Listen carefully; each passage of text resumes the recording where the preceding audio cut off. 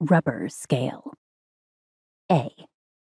The floor at Julian's ballet school was slightly bouncy, with a glossy gray coating that allowed them to slip. Sometimes, before the teacher arrived, the girls would perform what they considered to be superhuman, gravity defying gymnastic feats.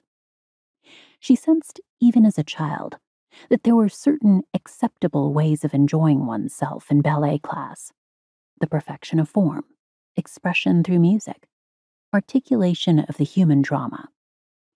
But to be polite and not to appear odd to the other kids, Julian would turn a few cartwheels or lean backward into a bridge form so that she could kick her legs over her head and return to a standing position. But these were not the things for which she would be rewarded. Her mother, Willa, had enrolled her in lessons when she was three years old she did not realize that she could simply stop going until she was in high school. But by the time she was six, Julian looked forward to them. The studio was a place of peace where her natural tendencies and form were exalted. She was precise in her movements, but not rigid, limber, but not in a grotesque, double jointed, Gumby way, graceful, but not fussy, tall, but not lanky, talented, but not so much that she might sacrifice her bloodied feet at the altar of Balanchine.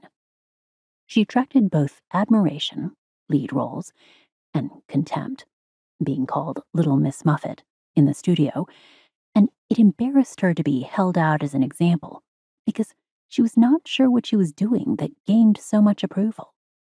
She maintained simply that if one could not perform a plie correctly, one was not performing a plie.